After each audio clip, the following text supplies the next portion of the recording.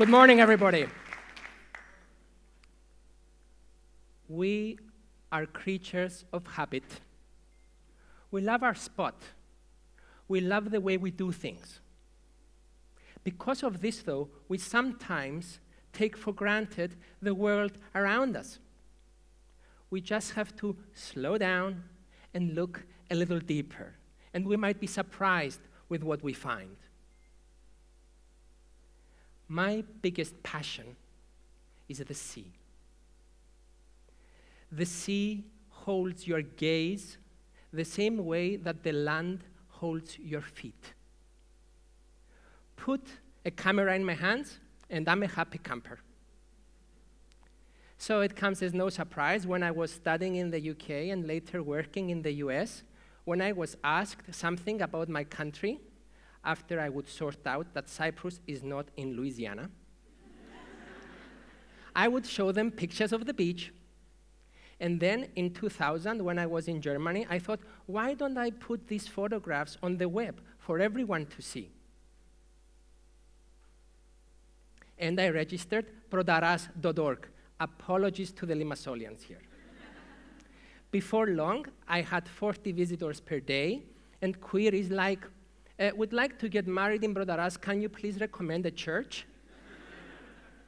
Questions that I passed on to the municipality. In 2002, I came to Cyprus, and you can imagine my excitement when I had the Mediterranean at my doorstep. I was clicking away and swimming all year round, particularly in the off season period, which I really enjoyed because there are less human distractions and, and, and the water is really crystal clear. So, to promote this, I published a book, Ayia Napa and Protaras All Seasons, which mostly focuses on the off season period. And this is the point where I decided to look a little deeper, to explore the coastline of the Free Famagusta area and I'd like to share some of the highlights of that with you. We all know our beloved Nissi Beach, Fig Tree Bay, Konnos Bay, maybe Serena Bay, perhaps Ayia Nargiri, where the visibility underwater is more than 40 meters. But you may be less aware of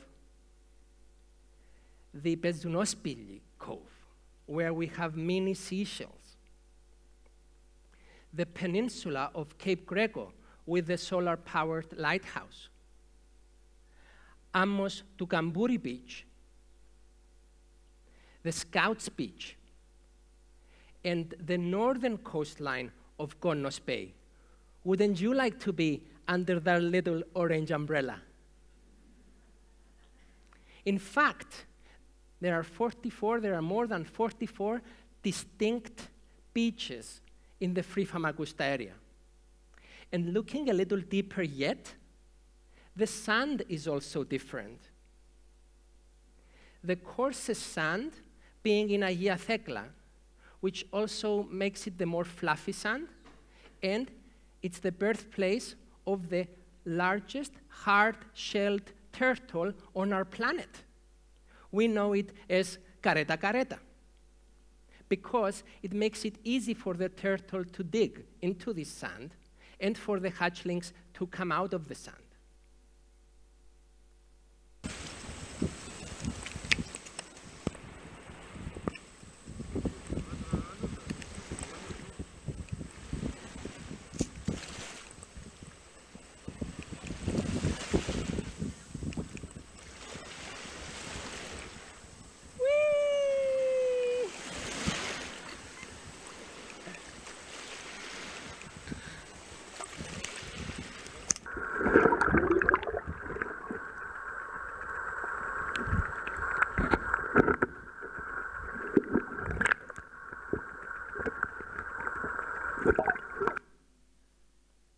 And probably we will have a lot more of these super cute reptiles because the sex of the turtle is determined from the temperature of the sand.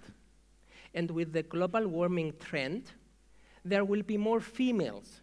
And because the turtle is polygamic, there will be more turtles, which is not necessarily a bad thing because the turtle's favorite food is the jellyfish.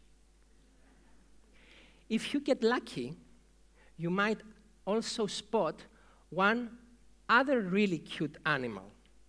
It's actually the, the seal, Monachus monachus. It's on the critically endangered list of the species in the world. There's only 600 of them in the whole world. And we have at least perhaps as many as 10 in Cyprus. You can spot them usually in this area, in the Monachus Monachus Arch, which is just off the Ayia Napa Hotel area. Some things stare right at us and we don't take notice. We have fresh spring water rising from our seashores throughout the year at the beach. You may think it's dirty water. Well, it's actually not. Where is this? At Crystal Springs, which is off Vrysoudon Avenue. How more obvious does it get? For the adventurous among you, how about walking on water? Well, along our coastline, there, are, there is a ledge, sometimes running for as much as a kilometer. All you need is a pair of shoes with ankle support. Our beloved Cabo Greco, the home of more than 80 different types of birds, such as the cormorants that we see in this picture, used to be a forest filled with juniper trees. The juniper tree is the tree from which the flavor of gin is made, from the fruit. But the tree also has rot resistant properties and hard wood, and it was ideal for use for boats, cupboards, and fences. So nowadays, pretty much all the trees are gone. The most impressive one, though, 150 years of age, can be found standing proudly and alone on the old Ayia Napa Protaras road. So putting these things together into a book in three languages, you get a beach guide.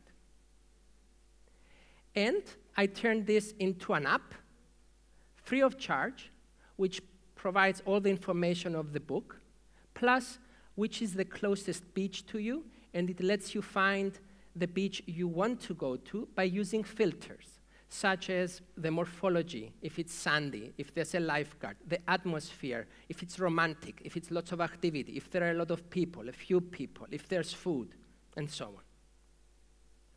One year after I published the book, the mayor of Limassol calls me up. Andreas, I want the book about the beaches of Limassol. I say, Of course, Mr. Mayor. I didn't really need much persuasion, as you can imagine. So here I went again. Now, Limassol is truly a gem. It combines the old and the new, the classic and the modern, the romantic and the wild. The district starts with white limestone rocks, which contrast beautifully against the dark gray, almost black sand. A really peaceful, romantic environment. Moving westwards, the cosmopolitan city of Limassol welcomes you with one of the nine ancient kingdoms of Cyprus, that of Amathunda. The view from the Acropolis is breathtaking. At this point, there is also a very large monolithic jar dedicated to the goddess of Aphrodite. It's actually a replica, as the original is in the Louvre. Walking along the coastline, next to the ancient port from which the rocks were taken to build the Suez Canal, is priceless. The city there onwards has about 20 kilometers of sandy beaches with luxury hotels, with beach bars, restaurants, marinas, water sports, and anything else you can imagine for a great time. And all this next to the vibrant city of Limassol, which blends the old and the new seamlessly. In fact, right in the middle of the old city is the Limassol Castle, which is now housing the Cyprus Medieval Museum, and it used to be a prison until 1950. Moving further westwards, the wild side of Limassol begins. The sand is richer and browner and thicker. The pebbles are multicolored. The waves are wilder. And the land is greener. In fact, the peninsula of Akrotiri that you see in the photograph used to be an island until 2,000 years ago when it connected with the mainland. And what you can see is the salt lake, which is about 10 square kilometers big and houses the, the lake and around it one of the most sensitive ecosystems of the whole of the, in the whole of the island. So here I was again, flying around, taking photographs. This was actually August 30th, flying over the Salt Lake, and I see these little specks on the lake.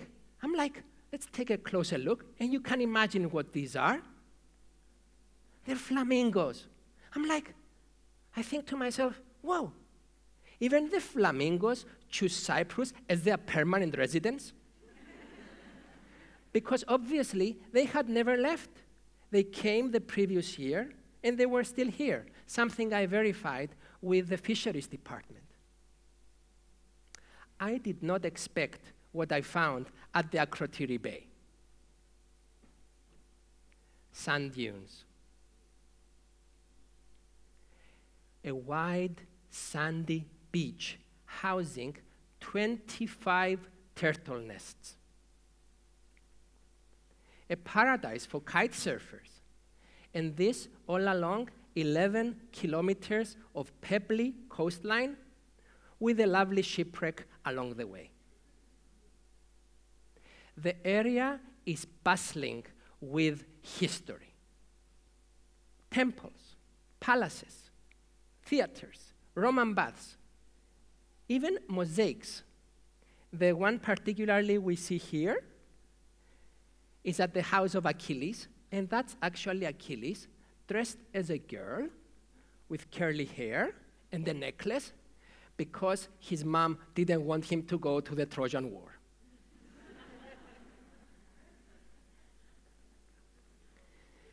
The most spectacular beach, in my books at least, is the one that lies under the temple of Apollo Elates. It's a little hard to get to, but it's really worth it. The archaeology department actually found figurines and idols on the slopes of these uh, cliffs linked to the god of the woodlands, Elates.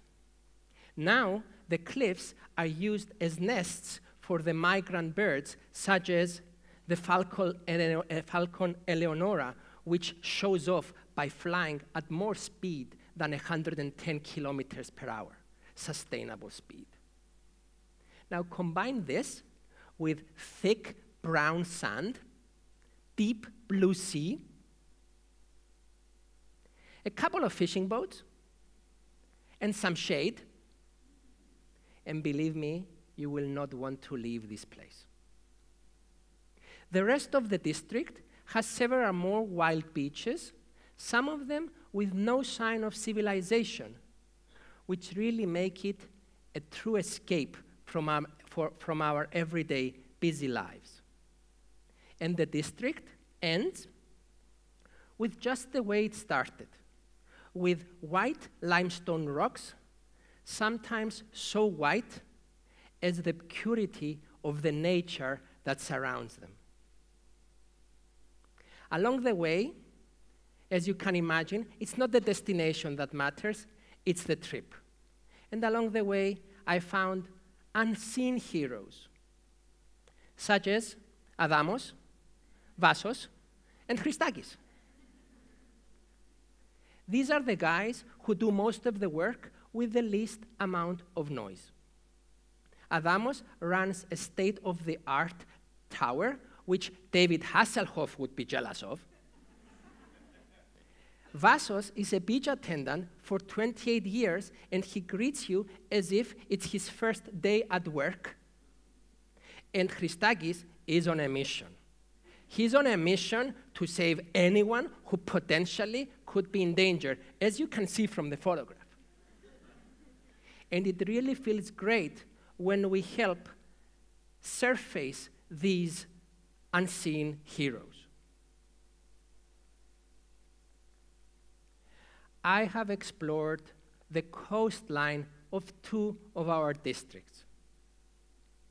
And I have really only scraped the surface of what lies around us.